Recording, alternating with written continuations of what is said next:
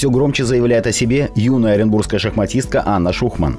Став серебряным призером первенства России среди участников до 9 лет в Костроме, Шухман без промедления отправилась в Минск, где собралось более 600 участников из 24 стран на первенство мира по быстрым шахматам и блицу. Восходящая звездочка Оренбуржья выступила просто блестяще. В быстрых шахматах она с семью очками из девяти возможных заняла второе место, лишь по дополнительным показателям уступив соотечественнице Софье Мутиной. А в блице Шухман завоевала золото. В этот раз набрав те же 7 очков, уже она по дополнительным показателям обошла двух китаянок. Сегодня в Сочи начинается суперфинал клубного чемпионата России по настольному теннису. Борьбу за медали по системе плей-офф поведут 8 лучших по итогам регулярного чемпионата команд. Казань, Краснодарская Кубань-Сидин, Элем из Восточной Пышмы и Уфимский связист начинают с 1-8 финала. В четвертьфинале подключатся питерский гидромет и подмосковная Спарта. Оренбургский факел «Газпром», как победитель гладкого первенства, стартует со стадии полуфинала, так же, как и действующий чемпион страны УГМК. Оренбургский клуб после победы в Лиге европейских чемпионов теперь нацелен на титул лучшего клуба России. Американка Бриона Джонс стала последним приобретением Оренбургского баскетбольного клуба «Надежда». 21-летняя Джонс – восьмой номер драфта женской НБА этого года. Она центровая клуба Connecticut Sun.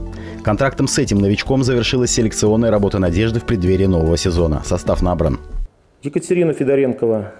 Эта девочка играла в московском «Динамо», а прошедший сезон провела в Испании. Мы пригласили Яну Дегтярскую из э, МБА, Машу Черепанову, достаточно известного игрока и ЛГМК, Ксению Тихоненко из московского «Динамо», а также пока трех игроков-легионеров. Это Сандра Егоровиде из э, Вислы польской, Эмма Кеннон, известная вам по выступлениям за, Волого, за Вологодскую, за Вологду, и сейчас он защищает цвета в NBA Феникс Меркури, а также Алекс Бентли, выступала в прошлом сезоне в Турции клуб Адана. Она имеет белорусское гражданство и будет играть за сборную. Американка с белорусским паспортом будет в этом сезоне играть за сборную Беларуси на чемпионате Европы. Сейчас она играет в NBA в клубе Connecticut Sun. После окончания чемпионата клуб во главе с главным тренером Роберто Инигисом покинули 9 ведущих игроков. Из основного состава остались только Анастасия Шилова и Жаселина Майга.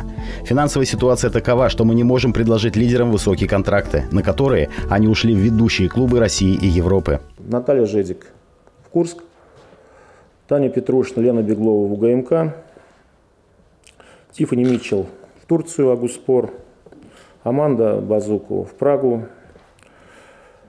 Елизабет Вильямс в Китай. Э, Люда Сапова пока мы не знаем, куда она. А Наташа Анойкина по семейным обстоятельствам берет перерыв в своей карьере.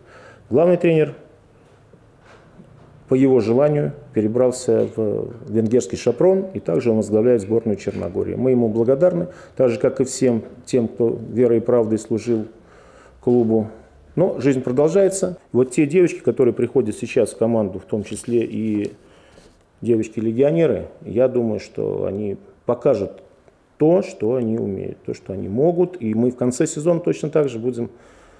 Ну а в перспективе я хочу сказать, что мы все равно двигаемся. Как бы там ни было, не было тяжело, сложно – тем не менее, есть движение, оно на лицо. Особая тема тренерская. Два года назад на смену Джорджу Дикиулакасу пришел Роберто Инигис, с именем которого связано самое успешное выступление «Надежды».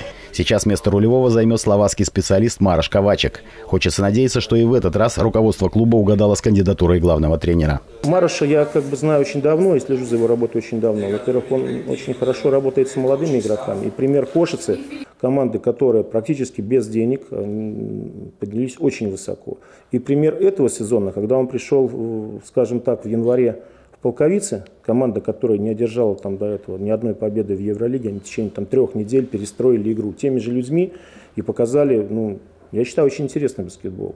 И на мой взгляд, этот человек ну, может нам, по крайней мере, поддержать знамя, да, которое там сейчас передает Роберто там, Марашу. Тем более он сам рвется в Россию, это для него вызов. Он никогда, как он говорит, не работал там, как он говорит, в великих клубах. Э, ему это очень интересно. И я очень сильно надеюсь, что у нас с ним получится. Команда соберется в начале августа, готовиться будет на своей базе и примет участие в ряде предсезонных турниров. Анатолий Юденич, Владимир Зволинский. Новости спорта.